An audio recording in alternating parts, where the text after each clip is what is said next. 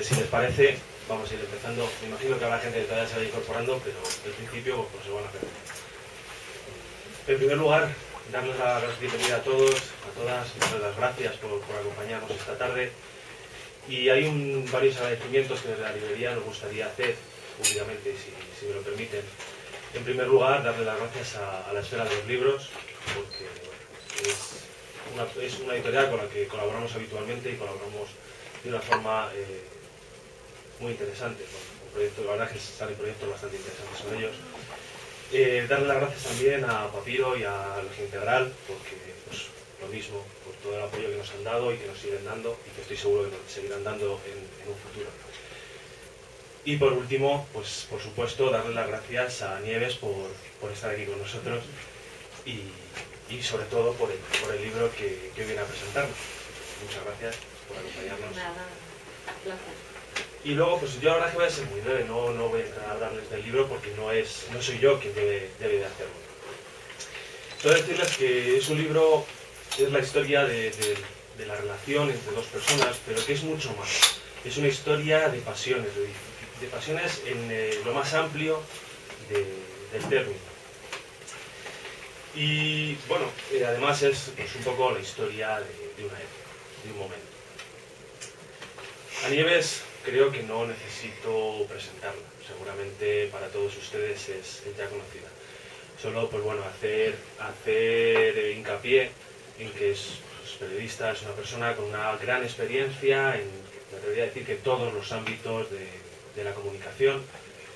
Además, pues eh, hay una serie de galardones que, avalan su, su, profesionalidad, como pueden ser el premio Ondas, un micrófono de oro, eh, antena de plata de la Federación de Periodistas de España, cinco micrófonos API, la Cruz de Oro de Europa de la Fundación de Fomento Europeo.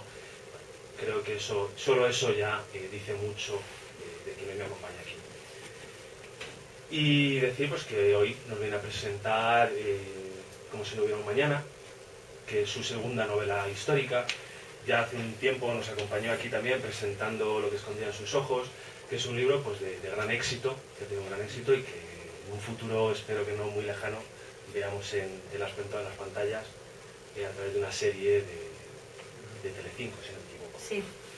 Y sin más, pues reiterar el agradecimiento.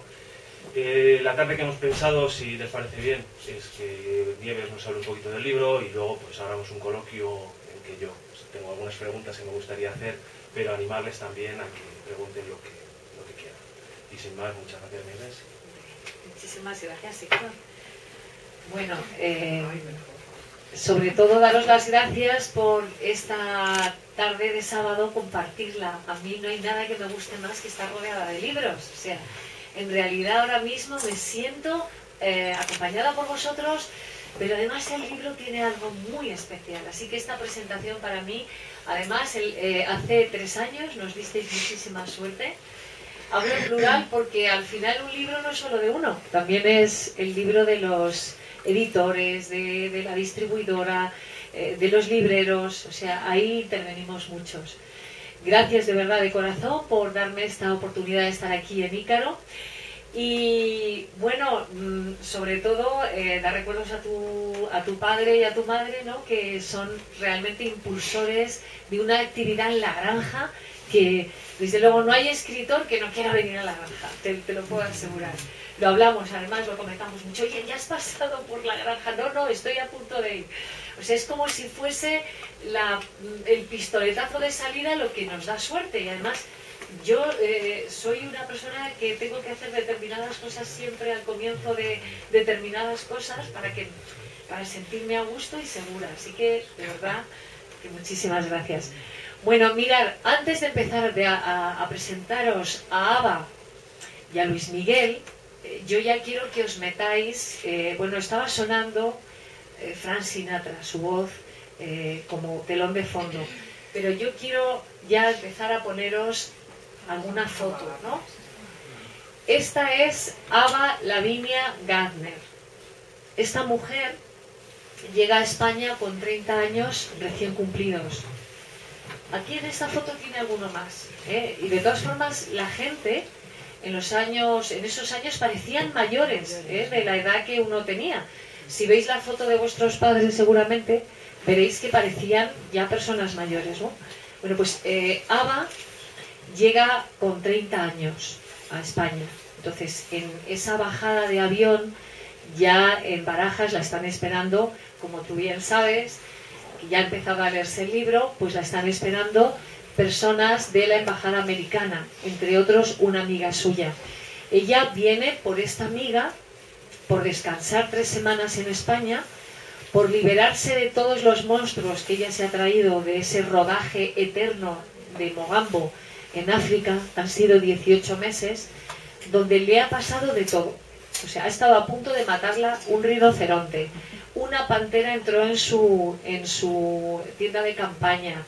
Em, no solo eso, ocurrió que, claro, 18 meses se enamoraron entre ellos, pues eh, eh, Carl Gable se enamoró de Grace Kelly, eh, ella estaba como en el vértice de los dos y siempre que se enfadaban le decía a Clark Gable, por favor, mm, no sé dónde está Grace, y se pone, ¿qué quieres? ¿Que me meta en la jungla? ¿Que me meta en la, en la selva para que yo tal? No sé. Bueno, en fin, ella era muy bromista y se encontró aquí con otro bromista, o sea que, fue Luis Miguel. Pero bueno, ella eh, realmente era una mujer que, como os digo, llegaba llena de cosas tremendas, decisiones eh, terribles que tuvo que tomar en un momento determinado. Y aunque John Ford, el director de Mogambo, le dijo que no se preocupase porque no se le iba a notar el embarazo, ella se queda embarazada, toma una decisión y esa decisión eh, su, marido católico no se lo perdonó, eh, no se lo perdonó. Cuando se entera, pues eh, se produce un cataclismo entre ellos, pero ya el matrimonio, el tercero, estaba, estaba, estaba roto, estaba, estaba ya bastante resquebrajado. Entonces, esta mujer, con esa mirada eh, a mí me parece que es una mirada triste, es una mirada como nostálgica. Durante todo el libro da la sensación de que ella quisiera ser quien no es. Ella viene envuelta de fama y resulta que lo que añora es la vida corriente. Y entonces ella que iba para secretaria y y se estaba preparando para ello, de repente una foto en una tienda que podía ser Ícaro, pues eh, le cambia la vida, porque de repente se fijan en ella en la Metro Goldwyn Mayer y entonces ya trastocan su vida. Ella que era eh, una mujer con mucho acento, de Carolina del Norte, em, cuando ella se presentaba decía, me llamo Eva eh, Lavinia Gadna. Decía, o sea, hablaba, hablaba mucho acento. Entonces, ¿qué la hacen en la metro? Pues primero la quitan el acento. En segundo lugar, la convierten en una señorita. Ella era una, una mujer de... No solo era de campo, es que era, eh, ella estaba acostumbrada a jugar, con chicos y sus formas de moverse y de andar y sus juegos eran masculinos. Entonces, la tienen que convertir en una señorita. Y entonces eh, la quitan todo lo que era auténtico en ella y la convierten, ella dice, me convierten en una estrella, pero yo no me reconozco como estrella. Entonces, esta es la eterna pelea que tiene Abagander. En un determinado momento la convierten en lo que llamaron, a, eh, modo de eslogan, el animal más bello del mundo. Aquí la veis, yo no sé si hoy eh, nos parecería eh, la mujer más bella del mundo, pero os puedo asegurar que es que las fotos le hacían poca justicia. Tenía unos ojos verdes impresionantes, tenía un carácter absolutamente cercano, amable, muy simpática, era, era una mujer muy cercana, todos los que la han conocido han dicho, era encantadora, o sea, una mujer mm, que nada tenía que ver como te imaginas a esas estrellas inaccesibles, no, no, no, era una mujer cercana, divertida, le gustaba ir descalza, pero provocaba miedo en los hombres. Los hombres sí que la consideraban un animal tan bello que tenían curiosidad al acercarse a ella y cuando ya eh, querían algo más con ella, entonces eh, mm, se ponía enferma porque ella decía que los hombres eh, nunca la trataban como, como de igual a igual, que solo se fijaban en su belleza. Y un poco lo que dijo Rita Hayworth, ¿os acordáis? Que decía, se acuestan con el personaje y se levantan con, o sea, se acuestan con Rita Hayward y se levantan con Margarita Cansino. Y claro, por lo visto hay un choque, porque ellas son de carne y hueso, llenas, por ejemplo, eh, nuestra querida Ava está llena de miedos, llena de temores, llena de complejos. Esta mujer estaba llena de complejos, de verdad. Parece mentira, pero mm, para que veáis que no todo es la belleza. Aquí la tenéis. Esta es una de las primeras fotos que le hizo la Metro y es una mujer, yo la veo aquí hasta muy, eh, muy virginal. Aquí es el inicio de ella. Ella viene de una familia muy victoriana. Eh, para que os hagáis una idea, los más jovencitos que estáis aquí, eh, cuando ella salía y volvía del colegio con un chico, su madre directamente les daba escobazos pero escobazos a los chicos, ¡fuera de aquí! Además, eh, voy a intentar chillar menos, porque es que a lo mejor no hace falta. No, sé si se, oye bien, ¿verdad? Sí, sí, sí, si oigo así, si hablo así, ¿me oís? Sí. Uf, pues estaba haciendo un esfuerzo. Madre mía, es que como no me oigo, este, este, es el defecto que, que tengo, que pega unos berridos y no hace falta. Bueno, pues ella aquí está en ese inicio de vida profesional donde, eh, bueno, mm, su, su, madre la condiciona mucho. Ella realmente, pues eso, cuando eh, su madre le ha pillado dándose un beso en, la puerta de su casa con algún chico, eh, la ha dejado encerrada en casa muchísimo tiempo para que se le pasaran esos amores por ese chico, porque no decía que no podía besar a nadie si no iba a casarse con él. Y entonces mm, ella recibe esta educación y entonces tiene hasta cierto miedo hacia los hombres. Lo digo porque luego parece inexplicable que pase de un extremo a otro, que ya veremos luego a lo largo de, de esta charla pues la evolución de Ava. Pero aquí tenéis a una Ava llena de ilusiones, una Ava que llega a Hollywood viviendo en un apartamento de mala muerte con su hermana mayor, todo el día y, la noche comiendo pollo porque no tienen dinero para comprar otra cosa. Entonces, no todo en las estrellas, en los inicios es maravilloso. Lo digo porque recuerdo cómo llegó aquí Imanol Arias del País Vasco, que eh, dice que hasta dormía en el metro. O cómo han llegado tantos actores, Arturo Fernández, por ejemplo, que, miraba las chaquetas que no se podía comprar en los escaparates diciendo algún día me compraré yo algo de esto. O sea, eh, no es fácil el camino para, para nadie, pero para un actor cuando ya le vemos en las películas pensamos, bueno, esto es, qué fácil la vida que han tenido. Yo desde luego no la envidio absolutamente nada, de verdad, porque ella eh, realmente los inicios son terribles, porque la contrata la metro por guapa. Pero cuando abre la boca, le dicen que se calle, porque no sabía hablar. Y entonces, los primeros papeles son de una palabra. Y esos papeles son dificilísimos. O sea, el decir una palabra que, o, una frase, ¿qué quiere el señorito? Cualquier actor al que, que pase por aquí eh, con un libro, pues os dirá que cuando hacen una frase es mucho más difícil que cuando tienen ya un papel un poquito más, más largo. Bueno, pues ella llega a Hollywood llena de, ilusiones, eh, llena de, entusiasmo, pero con pocas oportunidades porque la consideran una paleta. O sea, realmente Humphrey Bogart la trató siempre, la, llamaba la gitana de Graftown, que es de donde ella nace. Entonces, eh, no sé, o sea, la consideraba, mm, no sé, siempre estaba criticándola, no la perdonaban de dónde procedía, que era un ambiente muy humilde.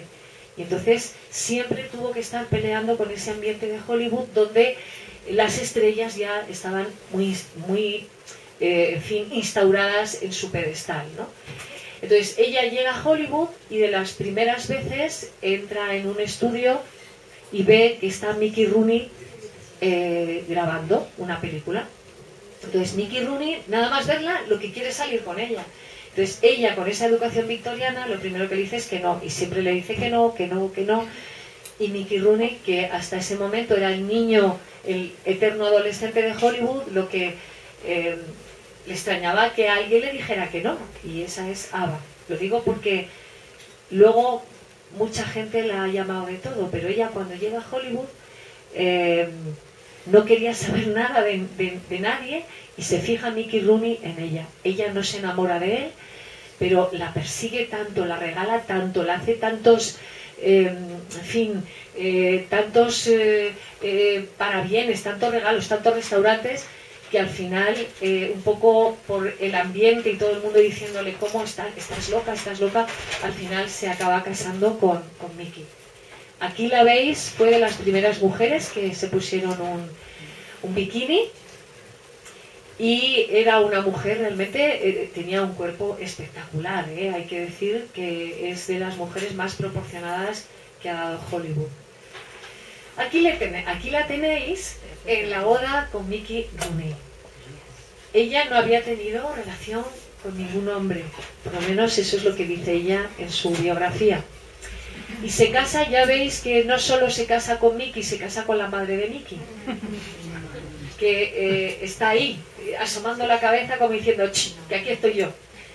Bueno, pues eh, fue tormentoso, duró nada más que dos años y fue terrible su experiencia, la verdad.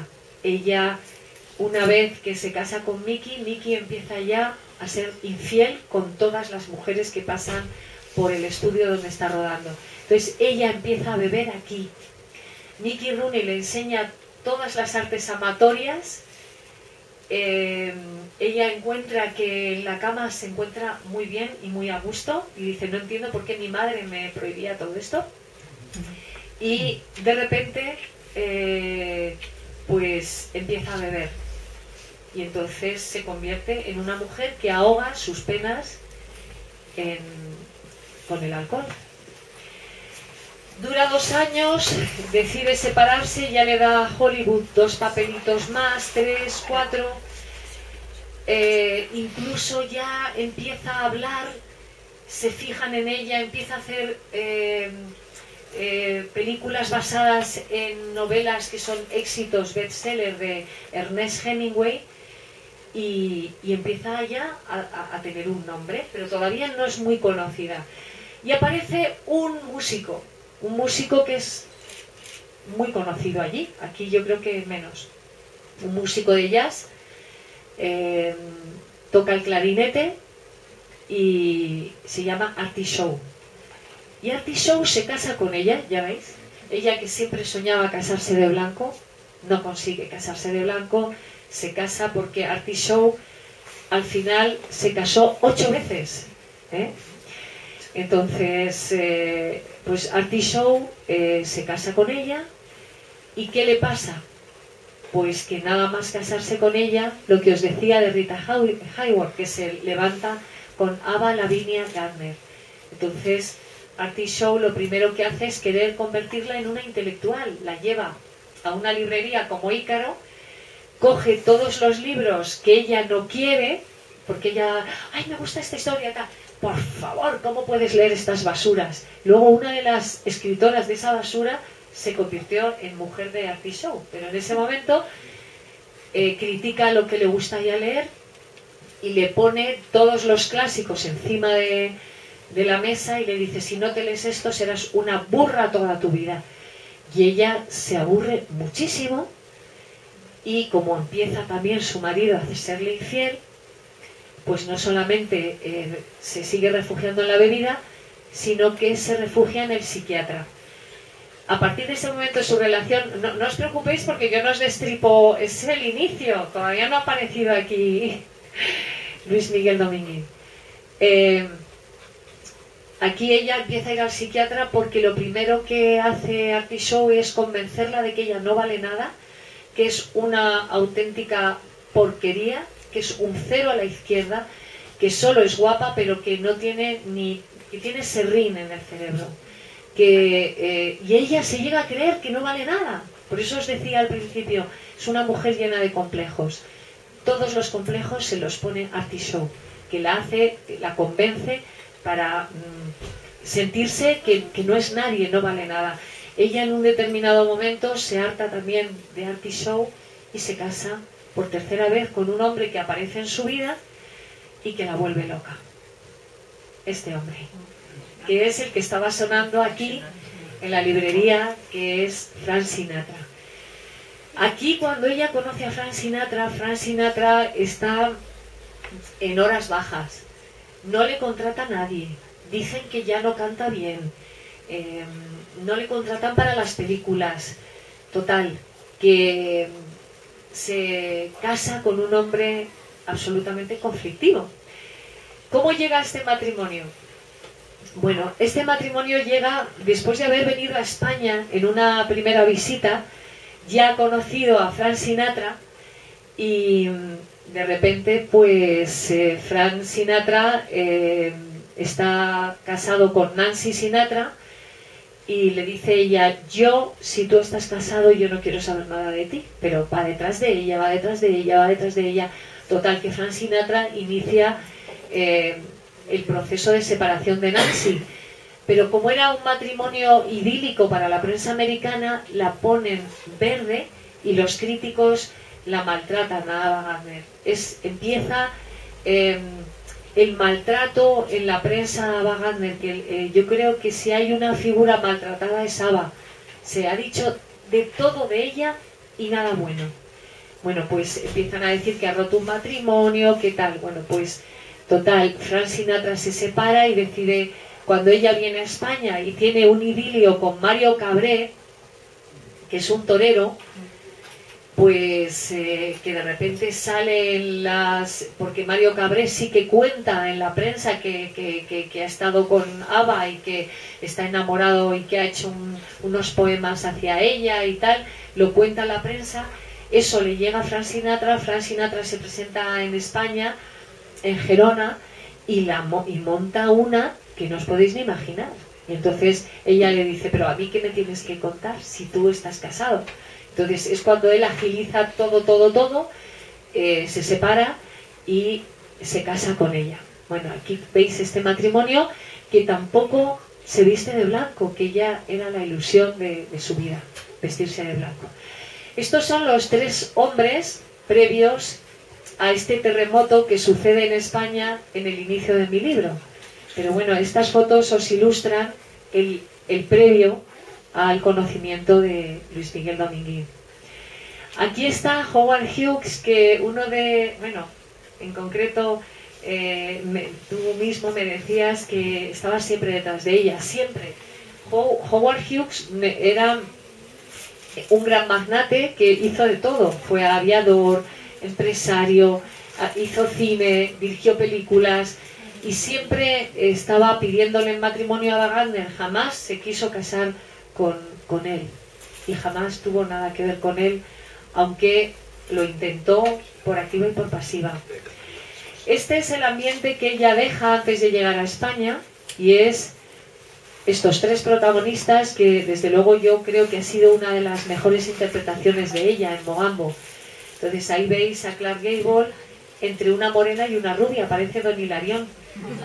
Pero, pero bueno, ella cuenta muchas anécdotas eh, de este rodaje y están en, el, están en el libro. Aquí entramos ya en el mundo dominguín. Bueno, ¿cómo era Luis Miguel Dominguín antes de conocerla a ella? Bueno, Luis Miguel desde los cinco años quiso ser torero, un poco como los toreros que conocemos, como el Juli. A mí, eh, el Juli es de los que yo he visto torear desde más chiquitín, ¿no?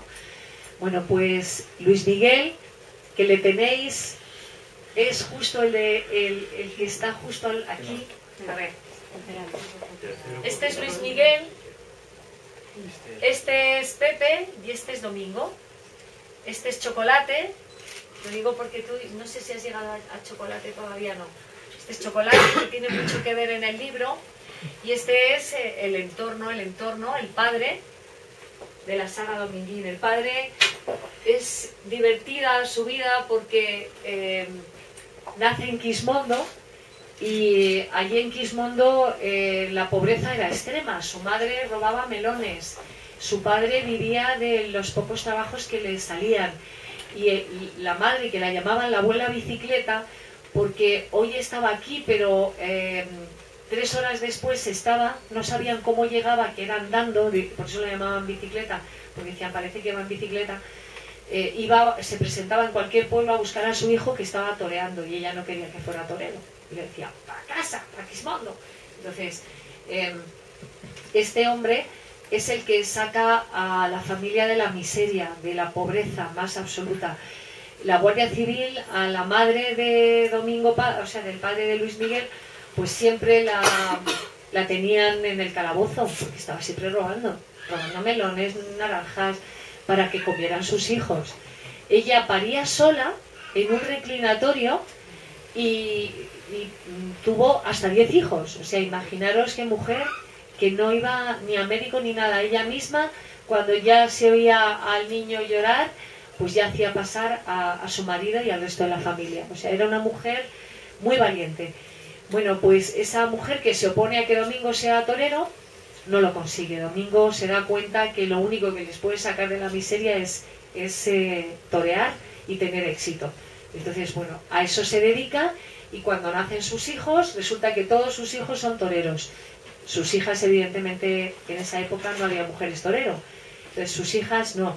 Pero Domingo, hijo, Pepe y Luis Miguel eh, son toreros su, hija Carmina se casa con Antonio Ordóñez, que es el padre, el abuelo de los hoy eh, Rivera, tanto Cayetano como Fran. O sea que Luis Miguel es tío abuelo de Fran Rivera, para que nos situemos. Bueno, pues en este ambiente taurino nace Luis Miguel Dominguín. Entonces es una familia que ya eh, manejan dinero pero no demasiado, porque el padre se arruina, se arruina más de cuatro veces. Entonces, tienen dinero pero lo gastan, lo invierten en corridas, lo invierte, él se convierte en empresario y a veces le sale bien y a veces le sale mal. Ellos no pasan la guerra en España, en cuanto eh, llega la guerra sale con sus hijos por Portugal, allí empiezan a torear los hijos y se van a América. Y en ese viaje por barco a América bueno, es como de película de, de, fin, no os podéis imaginar la odisea que pasan hasta que llegan a América porque no tienen para comer, en fin, es, es, una odisea, les pasa, les pasa de todo, pero al final triunfan en, en América. O sea que ellos conocen el triunfo, los hijos, en, en América, y eso que eran jovencísimos. Bueno, pues eh, aquí le vemos a Luis Miguel, queda, si hay algún taurino, ¿hay algún taurino por aquí?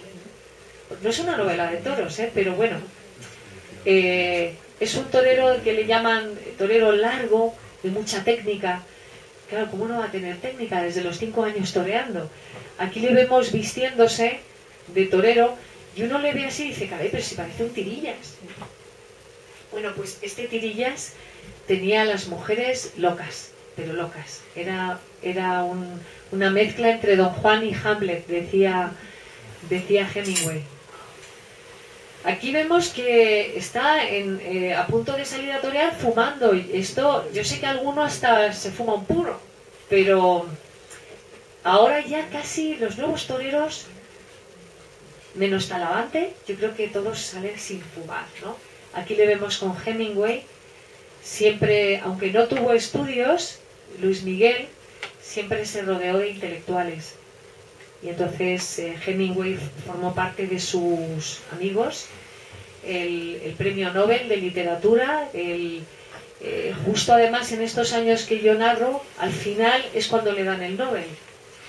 Y él llevaba 20 años sin venir a España, pero cuando yo comienzo la novela llega a España a los Sanfermines, después de 20 años de no pisar tierra española. Aquí le vemos con otro de sus amigos, que es Pablo Picasso. Entonces, con Pablo Picasso tuvo una, relación eh, muy fuerte, muy potente, tan potente que una de sus hijas se llama Paola por Pablo Picasso. Y eh, fueron en el inicio del libro, pues eh, es el encuentro entre Picasso y él. Picasso no quería saber nada de él, porque sabía de su relación con Franco. Y Picasso estaba en las antípodas, no podía ni ver a nadie que tuviera relación con Franco. Pero le empiezan a hablar de Luis Miguel tanto y tanto, que es un personaje libre, no, no tengas esos prejuicios, que sí, se lleva bien con Franco, pero a la vez está sufragando al Partido Comunista clandestino, porque su hermano era del Partido Comunista. Entonces, un personaje tan contradictorio a Picasso le, le llamó la atención. Y luego alguien que todo el mundo cuando llegaba a Francia y estaba Picasso en la barrera, o en, eh, sí, o en uno de los tendidos, pues le brindaba un toro. Y Luis Miguel, eh, cuando le decían, todo el mundo que viene aquí le brinda a Picasso un, toro. Entonces él dice, bueno, todo el mundo no soy yo, yo no le voy a brindar un toro. Entonces, fuera de contradecirle y de molestarle, de repente, esa, esa negación a brindarle un toro casi le atrajo a Picasso. Dijo, caray, este hombre de qué va. Y se conocieron, se cayeron muy bien y desde, desde entonces tuvieron amistad. Pero también tengo que deciros que cuando él se separa de Lucía Bosé, la amistad con Picasso desaparece. Se interrumpe para siempre. Nunca más volvieron a estar juntos. Aquí vemos a un Luis Miguel fumando, fue muy fumador toda la vida. Y le vemos aquí con Lauren Bacall. Lauren Bacall tiene que ver con la novela porque era la mujer de eh, Humphrey Bogart. Y justo en, este momento que yo narro, Humphrey Bogart, eh, que rueda una película con Ava Gardner, resulta que está con, una, con la peluquera del rodaje. En estas cosas de Hollywood. Lo digo porque aquí hay niños, adolescentes. bueno, aquí vemos a Gary Cooper, que no estaba en los cielos precisamente, estaba con un capote en la mano en la finca de Luis Miguel en Villapaz. Entonces, él eh, tenía un imán para todos los americanos y todos los actores, actrices. Entonces, siempre se ofrecía, iban, porque como les hablaba de tú a tú, no era un hombre que tuviese. Eh, decía Wagner, es que lo que me gusta de Luis Miguel es que no me mira mm, como de abajo arriba, sino que me mira de igual a igual, porque tan importante es él como yo. Entonces, esa relación entre iguales a los que eran muy conocidos en aquel momento pues les gustaba, porque oye, también eran seres humanos, les gustaba que no se dirigieran a ellos siempre como, oh, eh, está aquí el grande, el grande de la pantalla, ¿no?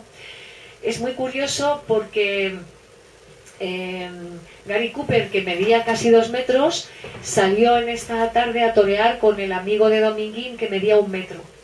¿eh? Lo digo para que, para que veamos que Luis Miguel no tenía ningún prejuicio ni de color de las personas, fue de los primeros que se enamoraron de una mulata y la trajo a España antes de conocer a Wagner. Y aquello en aquella España, que no venía ni un turista en ese momento, pues era rarísimo.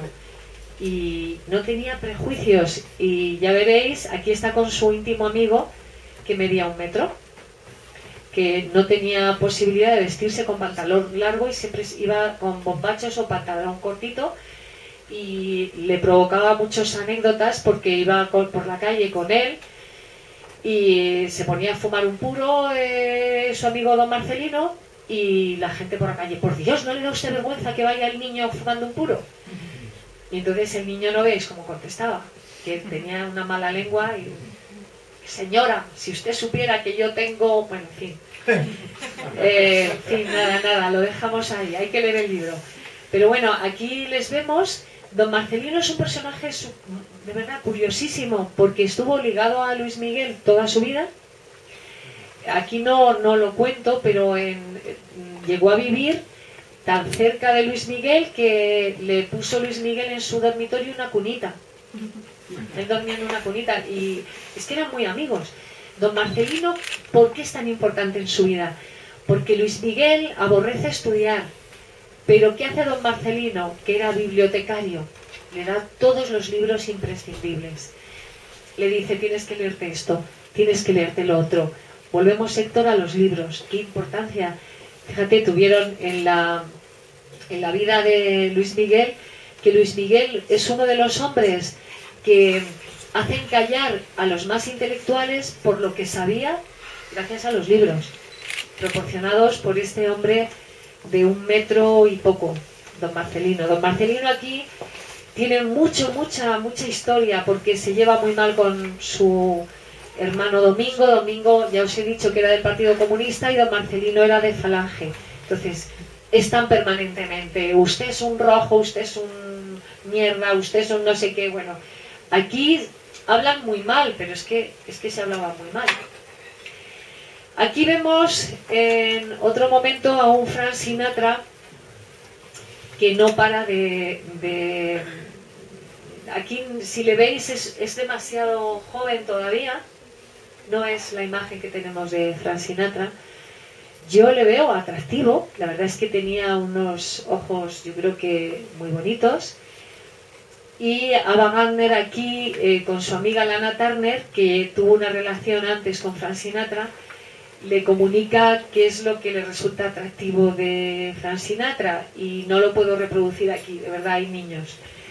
Pero, vamos, ellas tienen conversaciones muy sueltas de, por lo visto, eh, en fin, estaba bien dotado, estaba bien dotado.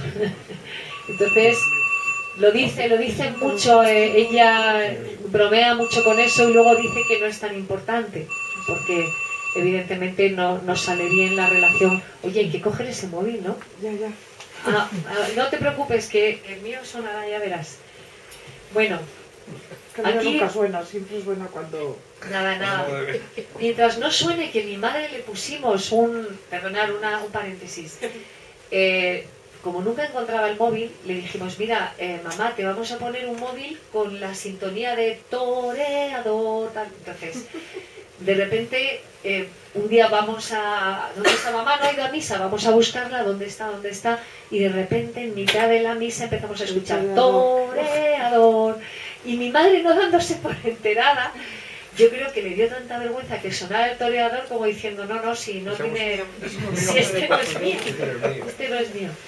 Bueno, eh, aquí le tenéis... Este sí que es el ambiente que se describe en la novela Ahí está Lola, ¿eh? Alguno ha dicho Lola Flores, ¿no? Sí. Bueno, pues ahí está Lola, que Lola no sabía inglés, pero mirarla, estaba ahí sin intérprete y sin nada. Estaba suelta, ahí con Fran Sinatra, no le hacía falta, eh, la mímica era muy importante. Bueno, pues Ava, Fran Sinatra y Lola fueron un trío importante. Y en la novela sale Lola pues porque Lola eh, despuntaba ya como un ser original, un ser único y presenció muchas broncas con Frank Sinatra y, Ava Gardner y algunas las ha contado en alguna biografía y yo, yo desde luego la, he transcrito aquí porque me parecía, me parecía interesante. Lola es una persona, yo que la he conocido, de verdad fue grande, grande. O sea, es de las personas que irrepetibles. Y yo creo que los dos personajes que yo os propongo hoy aquí también eran irrepetibles, de verdad.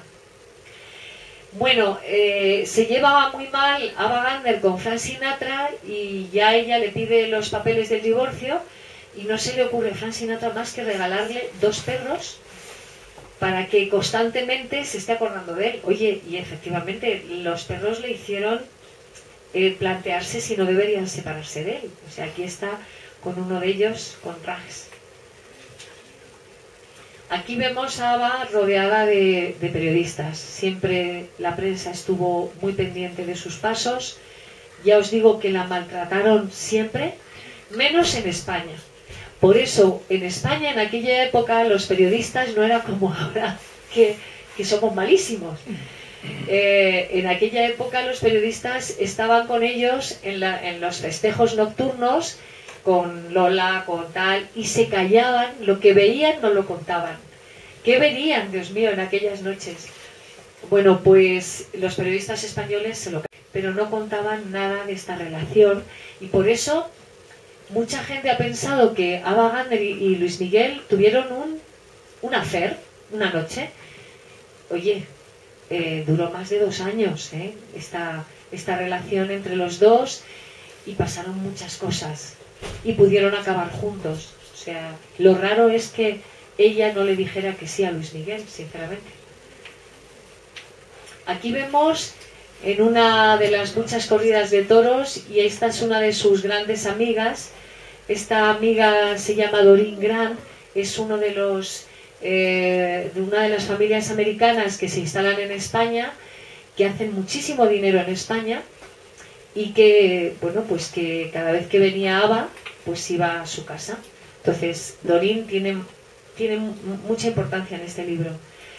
Y aquí la vemos a ella vestida de flamenca. Bueno, eh, ella según aterriza en España, conoce a Luis Miguel, eh, ella le dice no español y él le dice no inglés, pero dio igual, dio igual, porque realmente tuvieron una atracción que yo no sé si a alguno de vosotros os ha pasado, pero a veces ocurre que te cruzas con alguien por la calle, sobre todo pasa, ¿qué años tienes? 17. Con 17 a mí me pasaba, que me cruzaba con un vecino, que no, vamos, yo no sabía ni su nombre ni nada, pero me cruzaba ay, ocurría algo, ocurría algo, nos mirábamos, tal, era todo muy intenso, muy fuerte. Luego, en cambio, le conocí y se desmoronó porque me pareció tonto. Dijo, hola, ¿cómo estás? Dije, Dios, no, no, adiós, salí corriendo. Entonces, bueno, aquí no, aquí se conocen, no salen corriendo. Hay química al principio porque todavía no se entienden demasiado bien, aunque... Eh, Luis Miguel chapurrea el inglés, algo aunque juega con ella, le dice no inglés, pero eh, se hace entender, se hace entender. Y ella viene a la feria de abril y ni corta ni penzosa se viste, se viste de flamenca. Aquí la vemos con, con Lana Turner, que en el inicio del libro empiezan a rivalizar con, eh, rivalizan entre ellas a ver quién acaba con Luis Miguel porque lo conocen a la vez. Pero aquí vemos quién ganó en esa rivalidad. Y aquí les vemos. Yo creo que aquí ellos se sintieron tan felices, tan, tan iguales, eh, los dos con esa, ese amor por el campo, ese amor por lo sencillo. Aunque estaban siempre rodeados de gente, eran personas bastante solitarias. Y, se encontraron muy bien y, pudo haber sido la historia de otra manera. De verdad, pudo haber sido de otra manera, pero el destino quiso que se quedara nada más que en dos años a mucha velocidad. Eh, Luis Miguel tuvo una acogida y en estos dos años que estaba en España, yendo y viniendo a rodajes a Londres, a Roma, pues eh, de repente em, van a ver a muchas corridas, él le explica y le cuenta un poco eh, cómo es el mundo del toreo, pero ya veis lo serio que está él, es que él viendo torear a sus compañeros eh, se quedaba calladísimo porque sabía que se jugaban la vida. Ella hizo un guiño a España haciéndose esta foto vistiéndose con un capote de torero, un capote de paseo. Aquí le vemos a él en Cannes, porque acude al Festival de Cannes donde se presenta la película eh, Bienvenido Mr. Marshall. Y entonces hay un episodio y un capítulo, yo creo que muy divertido, donde sale Luis García Berlanga esposado del festival camino de la gendarmería porque los americanos le han denunciado. Porque no se le ocurrió otra cosa que tirar billetes de dólar con la carita de, de Pepe Isber. Y aquello, aquello les pareció les pareció un sacrilegio y le denunciaron y salió detenido. Aquí está Luis Miguel que se, que se desvivía entre dos amores, entre las mujeres y los toros él decía que se hizo torero porque las mujeres le admiraran y le aplaudieran en las corridas. O sea, realmente la mujer fue importante en la vida de Luis Miguel. ¿En qué corridas? Dime, dime. ¿En qué corridas? ¿En qué corridas de qué? La que lo admirara. Bueno, él, eh, bueno, eh, en las corridas de toros y en otras. Ah. Pero vamos. bueno, aquí la vemos rodando eh, el rey Arturo, los caballeros del rey Arturo. Ella aborreció esta peli porque decía que solo sonaban armaduras y su papel era cortísimo y no aparecía nada más que a los 40 minutos de sonar armaduras y aquí ya había conocido a Luis Miguel y durante este rodaje le pide a Luis Miguel que le acompañe y Luis Miguel está durante todo este rodaje con ella. Aquí eh, vemos a una persona muy importante en, en sus vidas y es Orson Welles. Orson Welles no solo fue amigo de Luis Miguel, ya sabéis que luego fue muy amigo de Antonio Ordóñez, hasta tal punto que está enterrado en la finca de Antonio Ordóñez. Lo sabíais, ¿verdad? Pues sí, se hicieron, al final fue más amigo de, Antonio Ordóñez, que era rival, o sea, se llevaban a matar eh, Luis Miguel y Antonio Ordóñez. Eh, Orson Welles tiró hacia Antonio Ordóñez y bueno, pues al final fueron tan amigos que sus cenizas descansan en Ronda. Aquí vemos, eh, bueno, Ava con una Isabel II muy joven, ¿no? ¿Nos parece muy joven? Pero ya estaba con sus bolsitos. Ya vemos que esos bolsitos la gustaban desde, desde siempre.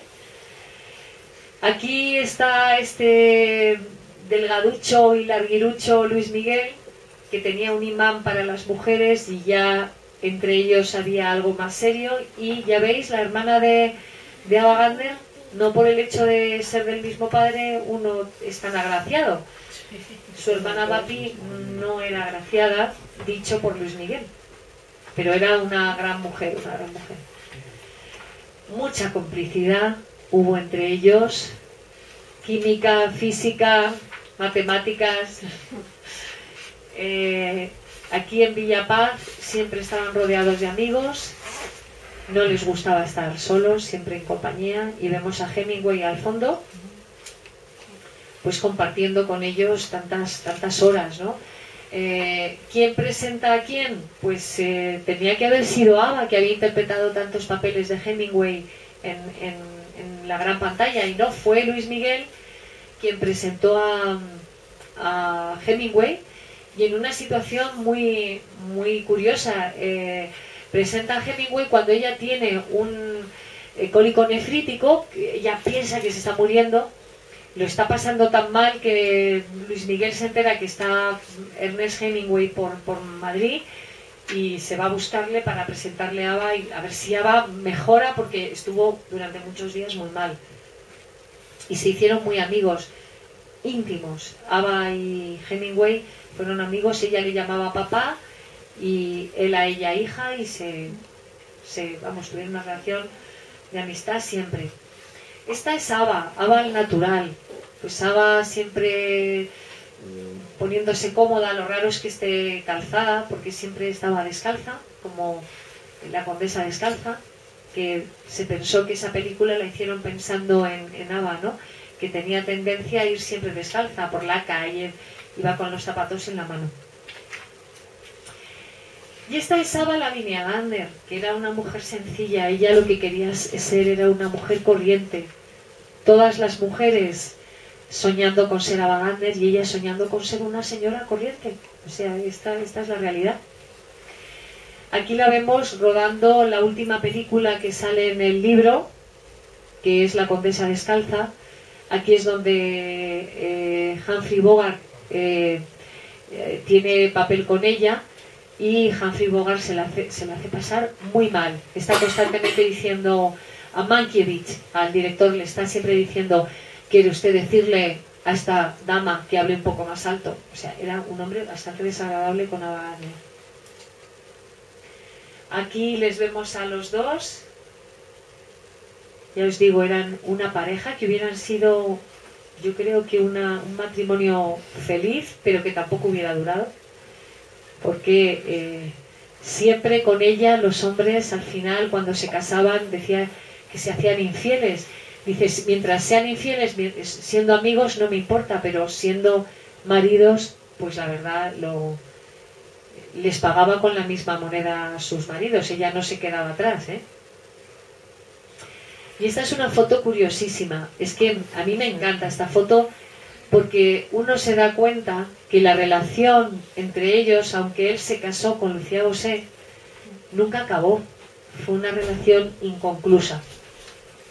Ella no quiso casarse, pero fue una relación que nunca acabó, nunca.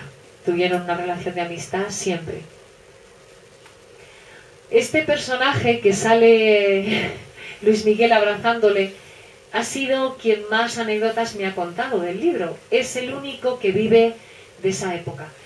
Se llama Canito, es un fotógrafo de toreros y fue el único que retrató a Manolete en la jornada de muerte de Linares. Y es, las fotos que tenemos en la memoria de Manolete son de Canito, son de él. Entonces, tuvieron mucha relación Luis Miguel y él. De hecho, él estaba en Linares porque le había pedido que le hiciera un reportaje Luis Miguel y eh, se encontró con la muerte de, Manolete. Bueno, pues este hombre tan curioso, Canito, que tiene 102 años, está mejor que su hijo que tiene 80. Su hijo de 80 hay que ayudarle entre varias personas y Canito sale andando sin ayuda y sin nada. Es un hombre de verdad fantástico. Me ha contado mil anécdotas, mil, mil, mil por deciros alguna, pues, por ejemplo, Luis Miguel, que era un hombre muy rápido, era de contestaciones muy rápidas. Por ejemplo, en la maestranza siempre había un tipo que estaba, eh, era de Antonio Ordóñez y siempre le estaba increpando. Pero qué malo eres, pero al lado de tu cuñado, vete, no sé qué, tal. Y entonces Luis Miguel siempre miraba de frente a los que le chillaban y se quedaba con sus caras. Y entonces, eh, paseando por Sevilla, ve que ese tipo que siempre le está increpando está cerrando una óptica. Un momento que me quiero comprar unas gafas, le dice al de la óptica. De la óptica cortado piensa que no sabe que Luis Miguel que es él. Entonces sube el cerrojo, dice, sí, sí, pase usted, pase usted, por favor, faltaría más. Y se empieza a probar gafas y una gafa y otra, pesadísimo. El otro mirando el reloj que se quería ir y cerrar y ya la última gafa, después de media hora, se la pone. ¡Oh! Esta es perfecta, porque estoy viendo al hijo de que tengo enfrente. Y claro, el otro se quedó tan callado que le contestó, pero ya se arrugó, porque es que frente a Luis Miguel la gente se arrugaba. Es que era muy... Mm, tenía mucho valor. O sea, imaginaros, el marqués de Villaverde. Eh, un camarero les confunde después de una cacería, está sirviendo pues eh, ese catering que se servía después de las cacerías y dice, don Luis Miguel, eh, ¿quiere usted un canapé? dice, por favor, ¿cómo me puede confundir con Luis Miguel? Yo tengo cuna. Y se le oye a Luis Miguel, por favor, ¿cómo me ha podido confundir? Unos tienen cuna, pero otros tenemos cojo, puntos suspensivos. Entonces, este era él, si es que él era así, era, era, era un atrevido, un, a Franco le contaba los chistes.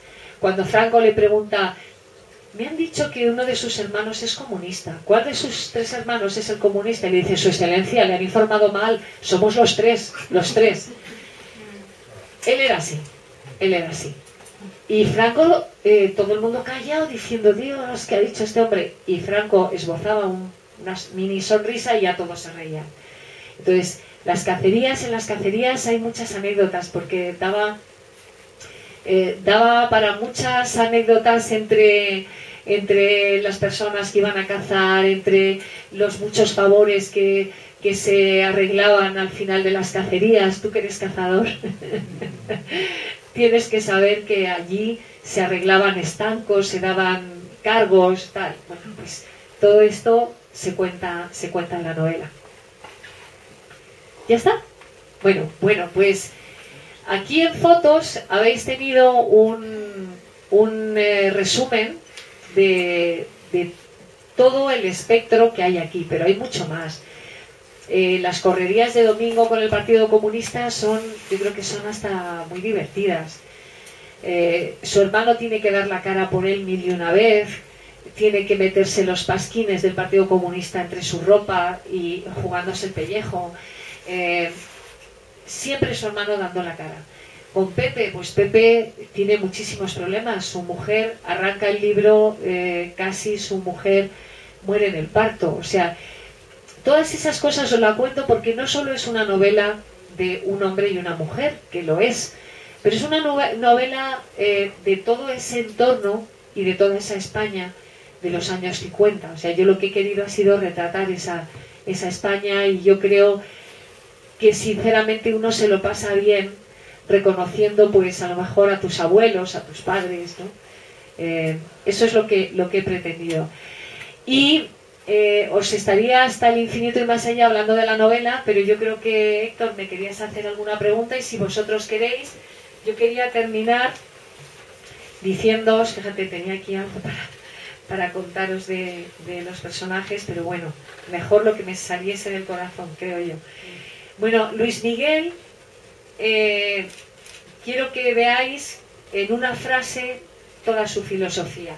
Dice, solo entiendo una forma de enfrentarse a la vida, de frente, plantando cara a los miedos y haciendo aquello que uno soñó. Entonces, me parece interesante, ¿no? Porque él esta frase se la repetía mucho a su sobrina, a su prima Maribí Dominguín, que luego tuvo que ver mucho con su vida, ¿eh? que en el que fue de, veréis qué, papel tuvo Maribí en la vida de Luis Miguel. Pero realmente cuando ella tenía miedo, le decía, ¿qué te da miedo? La oscuridad. La encerraba y decía, supera eso, que si superas el miedo a la oscuridad, ya no tendrás miedo a la oscuridad. O sea, él lo que decía que al miedo había que enfrentarse a él. Era un hombre que eh, para mí es el más de los más valientes que eh, toreando, porque aquí en el libro ya veréis que hace un pase por la espalda, yo eso no lo he visto hacer en mi vida, un pase por la espalda a un toro que le pasa por la espalda, de rodillas y, por la espalda, o sea, estaba un poco a mí me recuerda al José Tomás de hoy, este José Tomás que todo el mundo dice, es que parece que, que no tiene miedo a morir, ¿no? Pues eh, con Luis Miguel pasaba un poco igual, te daba la sensación, todo el mundo se, se, quedaba asustado porque decía, este hombre coquetea con la muerte, ¿no? Y se eligió como el número uno, eh, por chulería, sí, también, pero porque hizo en las ventas un pase tan perfecto que dijo, esto no lo repite nadie, soy el número uno, o sea, él era así. Bueno, eh, me pongo a tu disposición, Héctor, y a, la disposición de todos vosotros, que me encanta que sea un coloquio. Bueno, yo sí que, yo primero darte las gracias por esta tarde. Y me gustaría preguntarte, porque bueno, supongo que has tenido un proceso bastante extenso para poder llegar a publicar este libro. Y tiene que haber un proceso de documentación que no tiene que ser nada fácil, supongo. Porque bueno, eh, me imagino que sí, en los medios habrá, pero claro, llegar un poco a lo que es la intimidad, lo que es el día a día, tanto juntos de la pareja es lo como que de... Cuesta, eso es lo que más Entonces, no sé si nos puedes hablar un poquillo de ello. Sí, no, eh, tienes toda la razón, Héctor, porque hay muchas cosas que estaban, la bibliografía es bastante extensa, porque se ha publicado mucho de los dos, pero claro, tienes razón, Héctor, y de puertas para adentro. ¿Quién me cuenta eso? Pues realmente ha habido... Eh, básicamente han sido amigas de él, jóvenes, que hoy tienen 80 años, eh, gente que han sido muy generosas porque están casadas y me han contado cosas que, en fin, pero bueno, eh, han sido generosas conmigo contándome. Y luego Canito, os decía, Canito vital, vital, porque es que es el único de, de la edad de Luis Miguel, o sea que con vida. Entonces me ha sido el que más me... Lo que pasa es que a, Canito, con tantos años, no le puedes hacer muchas preguntas porque se agota. Y entonces te contaba siempre lo mismo y decía, caray, ya, ya no salgo de ahí. Es como que el disco duro eh, gira y de repente solo te pueden decir una serie de cosas y entonces tenía que esperar pues a lo mejor a un mes después y, o alguien de su entorno le decía, pregúntale esto, por favor que, no lo encuentro en ningún lado. Y entonces me decía, no lo recuerda, no lo recuerda, no lo recuerda. Y un día me encontraba un email que lo ha recordado. ¡Ah! Ese día era un tesoro. O la misma Aline Griffith, que sale en el libro, de la que hemos hablado antes, que fue la condesa de, bueno, que es condesa de Romanones, que fue espía. Y entonces también he tenido bastante dificultad porque en la anterior novela Aline pude hablar con ella tú a tú, pero aquí Aline ya está muy mayor entonces era todo a través de correo electrónico. Entonces el correo es muy frío. Yo le mandaba tres preguntas y me contestaba una. Decía, Dios mío. Y otra vez, vuelta a otro correo. Entonces ha sido todo un proceso bastante largo. Y luego aquí sale un periódico que me resulta curioso, que lo he adelantado dos años. Es lo único que no pertenece al año 53-54. Lo he adelantado dos años y lo digo ahí porque me parecía interesante meterlo en la trama. Claro, Domingo Dominguín dirigió durante un año un periódico comunista. Entonces, para eh, yo que soy periodista, creía que en la época de Franco eh, todo era a favor del régimen. Y cuando veo que hay un periódico que se llamaba El Litoral, que era a favor del Partido Comunista y que le pegaban una somanta de palos a Franco y a los ministros, ¿cómo es esto posible? Es que no me cuadra con la censura. Entonces me fui a Pontevedra y pude hablar con un superviviente del litoral, que era el, chico joven, el becario de, entonces, y que hoy es un hombre muy mayor. Y entonces me contó todo el proceso y aquí está en la novela y me pareció tan bonito eh, cómo al final cierran el, el periódico, pero no por no por comunista, lo cierran porque se quedaron, se quedaron sin director. Fijaros qué excusa más tonta, para que no pudieran decir los americanos que no había libertad de expresión y que cerraban un periódico, lo cierran por falta de director. O sea, algo un poco surrealista. Pues ya te digo, mucha gente me, ha ayudado. Mucho, mucho taurino, porque aunque no sea de toros, pero huele a, huele a toro ¿sabes? Pero no es una novela taurina, porque en esos dos años está convaleciente de una jornada. Pero claro, el entorno, pero el entorno es más el que vive del torero que, que, que, esté todo el día toreando, ¿no? Pero bueno, pues Miguel era torero, claro. ¿Y Lucía Bosé ayudó o no? Pues mira, Lucía Bosé no ha ayudado porque estaba en Panamá. Y Lucía no sale en el libro, sale es el final.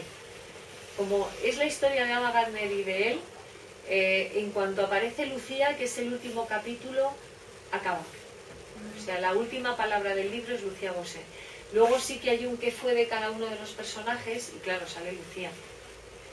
Y es, es curioso, yo la he entrevistado mucho, mucho, muchas veces. Es una persona muy cercana, eh, muy cercana, la verdad muy con sus ideas, unas ideas así que a mí me resultan hasta divertidas y, siempre amable. He rescatado muchas cosas que ella me decía del torero, del torero, pero sí que he hablado con su biógrafa, con, con Begoña Aranguren, por cuando he tenido alguna duda le he dicho, oye, eh, esto, y me decía, ah, sí, sí, no, no, no, esto, esto era así, asá o tal. Y, pero no, no quise porque es que si con lo que pesa este libro, si ya me meto en la vida de Lucía Bosé, entonces era el libro gordo de Petete, no, es imposible. Imposible. Acaba con Lucía, me parecía más elegante por los hijos. Están vivos, eh, son, conocidos y a lo mejor ya las infidelidades de un padre ya es más difícil que, que antes de conocer a su madre que pasasen todas estas cosas. Y un poco por ellos, la verdad es que lo he acabado en Lucía sí, porque me, no sé, me da cosa, me da cosa. Conozco mucho a Paola y digo, caray, a mí no me gustaría que me contasen que cuando estaba con mi madre estaba con Ava, es que no dejo de estar con Ava, estaba con no sé quién, estaba con no sé cuál, entonces me, me pareció un poco duro. Y no me acuerdo bien quién le puso el apodo a Ava de el animal más bello del mundo se lo pusieron los de el, director de marketing de la película La Condesa Descalza, que le hizo la foto esa que hemos visto que ella estaba como, como un tigre de leopardo, pues entonces la, pusieron eso y, a ella le parecía infame porque decía, ¿pero por qué todo el mundo ya me llama animal? sí, pero ya esto siempre todo el mundo la presentaba. Estamos con el animal más bello del mundo. Y ya. La belleza para ella fue una cárcel. Una cárcel. Decía que hubiera preferido ser fea y porque solo la veían en papeles de guapa, aunque al final ya hizo alguno de mayor, pero la belleza para ella al final fue un lastre. Pero bueno, fijaros qué mujer más, más impresionante. Mira, si queréis la, la dejamos en, aquí. Aquí es cuando la llamaron el animal más bello del mundo. ¿Sí? ¿Alguna curiosidad más por ahí? ¿Y ella cuánto tiempo vivió en Madrid? Pues ella, ella compró una casa Vale. en, La Moraleja. en La Moraleja, que, en- que la llamó La Bruja, y, y estuvo yendo y viniendo a sus rodajes, tal, no sé qué, y estuvo aquí, pero muchos años. Hay mucha gente, hay taxistas que han llevado a Wagner. ¿Os acordáis del Fari? El Fari llevó a Wagner. Y dijo que no, que no tuvo nada que ver con ella. Pues hay mucha gente que ha tenido relación con Ava porque se la ha encontrado en una fiesta, en un tablao, pero luego ella se fue a vivir a Londres y murió en Londres y murió sola. ¿A qué edad, a qué edad murió? Pues murió joven, eh, murió a los sesenta y pocos. Es que vivió muy intensamente, bebió mucho y fumó mucho. Engordó, si, a los cuarenta y tantos ya estaba gorda. Tampoco un gorda, gorda, gorda, pero sí que se deterioró mucho. La dieron algún papel, incluso algún papel en silla de ruedas, porque ella, ella tuvo un problema muy serio de, colu- de huesos y sí, sí. Y murió sola con su ama de llaves, que le dijo, creo que me voy a Chicago. Fijaros, es que ella era así. Creo que me voy a Chicago. Chicago era que me, que me muero. Y, y le dijo la señora que estaba con ella, ¿no? Le dijo, no, no, no, no pienses eso, Ada, no pienses. ta-". Sí, sí, me estoy yendo a Chicago, yo lo sé. Y murió. Tampoco de decir eso. O sea, ella tuvo mucho sentido del humor. Luis Miguel igual, la enseñaba, eh, siempre quería que la gente de la alta sociedad con la que se trataba, pues, eh, pues que se escandalizara. Entonces me encantaba esos momentos tensos y entonces la enseñó nada más llegar a España. Ella dijo, oh, tal, ¿cómo, ¿cómo puedo decir que esto está rico, que esto está muy rico? Dijo, tienes que decir, la palabra que lo define es cojonudo.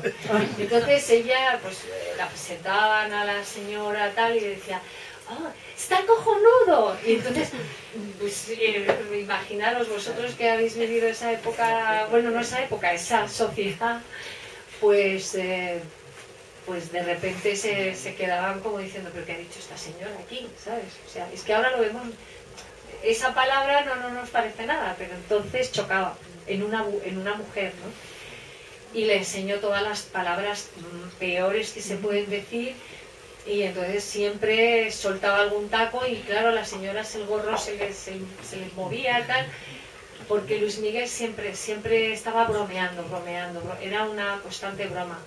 De verdad era un hombre con lo serio que, que es también tenía muchísimo sentido del humor. Por ejemplo está en Cannes y le acompaña la azafata que lo había dejado todo por ella que era mulata de rasgos orientales y mm, ya han roto al aparecer Ava pero eh, están en la misma habitación y tal y entra una persona a, a ducharse a su habitación y dice, ha entrado alguien, ha entrado alguien. Dice, no, no te preocupes, que es que en Francia la gente entra en las habitaciones a ducharse, en las habitaciones de otros. Era Vallejo Nájera, que era su íntimo amigo, estaba en una pensión y le dijo, no, tú cuando quieras, mira, eh, quédate con esta llave y cuando te quieras duchar tú entrar y no pasa nada y tal. Y claro, la otra se pone, no, no, que es que aquí es corriente, aquí es que entra la gente a ducharse.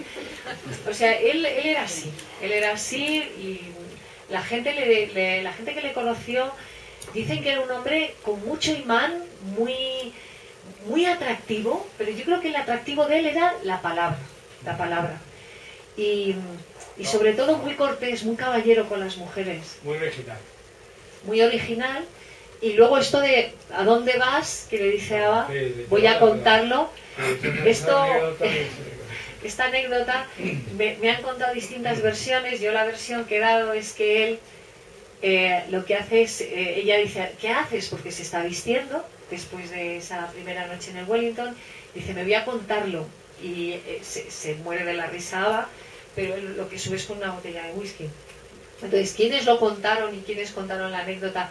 Y Luis Miguel ya cayó y dijo que sí, pero forma parte de una leyenda. Fueron su entorno, sus hermanos, que empezaron a tocarle el pelo. Menuda noche has pasado con Ava. ¿Qué, qué tal? Que no sé qué. Y dije, pues sabes que le dije que me voy a contarlo y tal. Y ya ellos hicieron como eso dogma de fe. Dogma de fe. Pero vamos, que era gracioso. Es que él, él era bromista. Ya os digo, si con don Marcelino, con sus hermanos, se tiraban a, Marcelino como si fuera una pelota.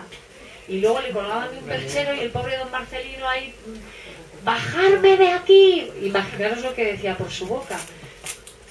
Bromistas, o sea, eh, es que se prestaba en esa época este tipo de cosas, la verdad. Y, y siempre pues eh, viviendo mucha gente a costa suya, mucha, muchísima. Y tapando muchas cosas que sucedían en la familia, en fin, cosas que hay que, hay que leerlo porque eran muy tremendas. Sí, sí. ¿Algo más? Bueno, ¿Os apetece? ¿Alguna curiosidad? ¿No? Bueno, pues si queréis lo que podemos hacer, no sé si os apetece hacernos fotos o charlar eh, en- de uno en uno o firmar algún libro, lo que queráis. ¿eh? Pero para mí ha sido un placer acercaros a dos grandes, de verdad. Yo tuve la suerte de conocer a Luis Miguel, de hacerle la, si no la última entrevista de las últimas, un año antes de morir. Y la verdad es que comprendo que se enamoraran de él, de verdad. Era un hombre que aunque ya estaba deteriorado físicamente, pero tenía algo, de verdad, tenía algo muy especial, tenía mucha gracia, mucho imán. Conociendo a Miguel Bosé nos damos cuenta de ese atractivo que tienen los Bosé y que no sabes qué es, pero que lo tienen y que son originales, son, son personas que, que no tienen belleza que no es normal, que es una belleza, tú ves a Paola y dices, es que tiene algo, es elegante, es alta, larguirucha, como su padre, y tienen algo que son atractivos. Él se casa al final con Rosario Primavera, ¿no? No se casan, se casan por lo civil, pero él quería casarse por la iglesia. Pero eh, Lucía le decía eh, a los que abogados que llamaban y le decía que me llame el torero. Si él quiere que yo le dé la separación, que Porque me llame. quería casarse, religiosa, Quería casarse por la iglesia y no nunca nunca se casó por la iglesia porque no les, o sea, ella nunca jamás eh, quiso acceder a pues, me imagino que tendría que ir al tribunal de la rota y tal y ya no dijo que no. Pero fue la mujer que vivió con él en los últimos años. Los últimos años de su vida los vivió con Rosario, antes con Pilia Bravo, con ¿Y, y la sobrina vi- vive? La sobrina que no murió, Murió. murió de cáncer. Mm. Ese fue también un gran amor de ella, de, de ella a él. ¿no? Bueno, es que él, la sobrina sale aquí porque vive con ellos y Luis Miguel la va moldeando y la va forjando pues una señorita, la da a los mejores colegios, la manda a Francia, la manda a Inglaterra. Al final Maribí hablaba inglés, francés, alemán. ¿Y era hija de quién, Maribí? Era hija de la hermana del padre, o sea, era hija de una tía que se llamaba Macaria, y, pero ella decía que se llamaba Ana. Claro, cualquiera dice que te llamas Macaria. Claro, en aquella época no te podías quitar el nombre, pero eh, dijo que se llamaba. En la confirmación se cambió el nombre. Porque la abuela bicicleta ponía el nombre del santoral. Si era Macaria, era Macaria ese día. Y nada, ella era, eh, en fin, Maribí era una mujer, fijaros si era de, la hizo Luis Miguel sin, tan sin miedo que los dos eran muy cazadores, tú que eres cazador. Y, entonces eh, llegó, llegó un momento que lo cazaron todo, todo, todo lo que os podáis imaginar lo cazaron. Y entonces ya, ¿qué les podía dar a- adrenalina? Pues se ponían en mitad de la plaza y decían que salga un toro a lo mejor que ya tenía muchos años, esperaban hasta el hasta que estaba cerca para darle un tiro certero. Arriesgaban a que el toro les embistiera. Entonces esperaban sentados, esperaban, esperaban, esperaban, y entonces él ponía a prueba a, a Maribí para decir, y decía, caray, qué, decía, qué, qué ovarios tiene esta niña, que espera hasta el último segundo y le da un tiro certero. O sea que también a mí es que no, yo no soy cazadora, no me gusta la caza, pero comprendo la adrenalina que sentían ellos cuando veían que el animal se acercaba, se acercaba, no disparaban, no disparaban, y en último momento, eh, sí. Entonces, bueno, era... Eh, este libro eh, recuerda también un poco a la escopeta nacional, es ese ambiente de la escopeta nacional, si habéis visto la película, porque es que en esa época se cazaba muchísimo y todo se arreglaba cazando. Pero vamos, que me lo he pasado muy bien y yo creo que si al final os apetece leerlo, os lo vais a pasar bien. creo que es un retrato de una España muy cercana, el año 53. Así que nada, oye, muchas gracias por dedicarme una tarde de sábado.